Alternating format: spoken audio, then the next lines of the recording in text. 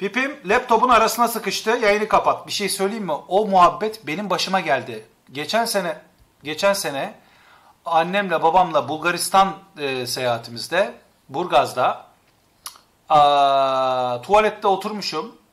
Sonra birdenbire tuvaletin yalnız kapağı şey olmuş. Yerinden çıkmıştı. Vidası çıkıktı. Azıcık oynattım lak diye yandan gacırt yapıyordu falan. Birdenbire böyle oturuyorum böyle birden gacırt yapınca bir heyecan yaptım. Derken bir ayağa kalktım abi. Benimki kapağın arasına o tuvaletle kapağın arasına bir sıkıştı.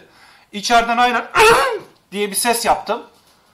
Ee, annemle babam sesi duydular mı bilmiyorum. Ondan sonra e, kanadı. E, böyle bir iki gün falan kanadı. Ben bunu söyleyemedim onlara falan. Allah'ım dedim çıldırıyorum. Ulan habire acıyor, yanıyor, kanıyor. Allah Allah nasıl bir acı.